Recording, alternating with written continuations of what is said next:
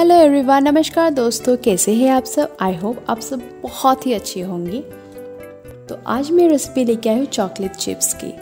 कई बार क्या होता है कि हम जब केक बनाते हैं आइसक्रीम बनाते हैं, कि कोई भी डेजर्ट बनाते हैं मफ़िन्स बनाते हैं चॉकलेट ब्राउनी बनाते हैं, उसमें हमें मन करता है कि उसे डेकोरेट करने के लिए हम चॉकलेट चिप्स ऐड करें, पर वो उसके लिए एक्स्ट्रा बाज़ार जाना पड़ता है। तो मैंने सोचा, क्यों ना मैं आपके साथ शेयर कर कि मैं कौन सा ट्रिक इस्तेमाल करती हूँ चॉकलेट चिप्स बनाने का। वो भी घर में ही, एकदम आसानी से, कम खर्चे में। तो चलिए वीडियो शुरू करते हैं। तो हमने यहाँ पे लिया है दस रुपये का दो टाइगर बिस्किट का पैकेट चॉकलेट फ्लेवर लिया है हमने इसमें। तो इसे हम पैकेट से सेपरेट कर लेंगे। अब हम इसे मिक्सिंग जार में ऐड करेंगे। मिक्सिंग का, मिक्सर का तो काम ही है इसे तोड़ के ग्राइंड करके पाउडर करना। अगर मैं बिस्किट ना भी तोड़ूँ तो भी चल जाएगा। फिर भी मैंने इसमें ज़रा सा तोड़ के, ज़रा सा होल सा भी मैंने ऐड कर दिया। मिक्स मिक्सर चला लिया है और पाउडर भी अच्छा खासा बन चुका है। अब इस पॉइंट पे मैं ऐड कर रही हूँ आधा चम्मच कॉफ़ी मैंने एक रैंडम नेस्ले का इंस्टेंट कॉफ़ी लिया है। कोई भी रेगुलर ब्रांड आप ले सकते हैं बाज़ार से।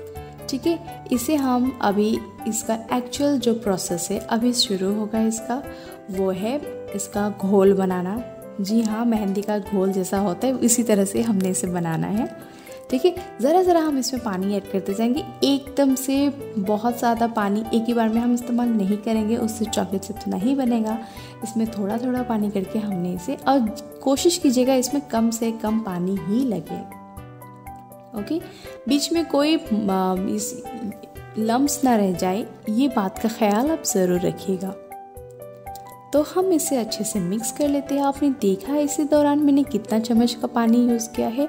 बाउल से या ग्लास से पानी यूज़ मत कीजिए, चम्मच से ही हम ज़रा ज़रा पानी यूज़ करेंगे। और इसे हम अभी मिक्स कर रहे हैं।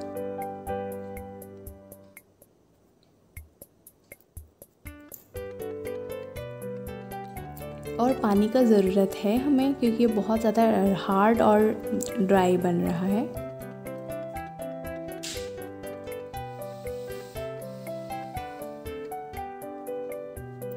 ये जो घोल है, ये बहुत ज़्यादा स्लरी पेस्ट भी नहीं बनना है, क्योंकि स्लरी पेस्ट बन जाएगा तो आपका ये चॉकलेट चिप्स नहीं बनेगा, क्योंकि ये गीला नहीं बनना चाहिए थोड़ा थोड़ा हार्ड और उतना हार्ड भी नहीं मीडियम अंदाजे से ही आपको पता लग जाएगा। मैं आपके साथ शेयर कर रही हूँ अभी राइट नाउ अभी वही दिखा रही हूँ आपको। इसलिए मैंने पानी ऐड करने वाला प्रोसेस में कहीं भी कट नहीं किया है। मैं चाहती हूँ कि आप ईच एंड एवरी स्टेप कैसे, कब और कहाँ आप बारीकी से देखें। तो ज़रा सा पानी है मैंने अभी भी इसका इस्तेमाल किया है। फिर इसे हम अच्छे से मिक्स कर लेंगे, अच्छे से आपने इसे मिलाना है।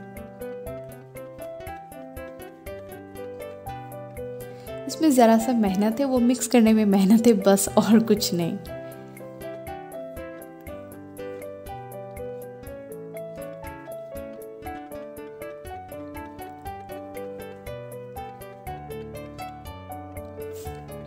ज़रा सा लगता है अब और पानी का ज़रूरत है हमें तो फिर हम इसमें पानी ऐड करके और इसमें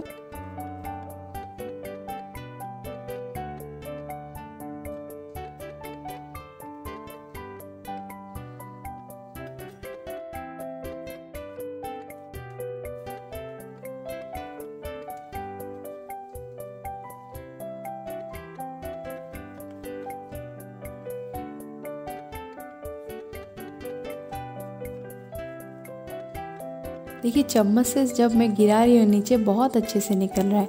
स्लरी पेस्ट होता है तो कंटिन्यूस निकलते रहता। अब ये थोड़ा निकल रहा है, थोड़ा छूट रहा है, थोड़ा निकल रहा है, थोड़ा छूट रहा है।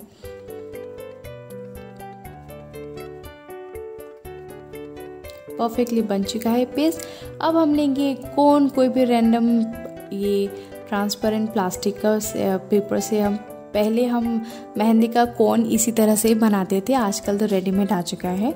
ज़्यादा मेहनत का ज़रूरत नहीं है।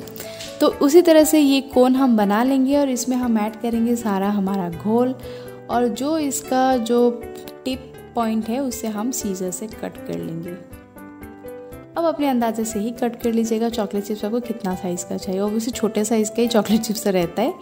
तो इसी हिसाब से हम इसमें डॉट डॉट डॉट डॉट कर लेंगे। मैं उतनी अच्छी नहीं हूँ ड्राइंग में या इसे बनाने में। फिर भी देखिए, मैंने एक बटर पेपर के ऊपर ही आपको करना है। कोई भी रैंडम पेपर में मत कीजिएगा।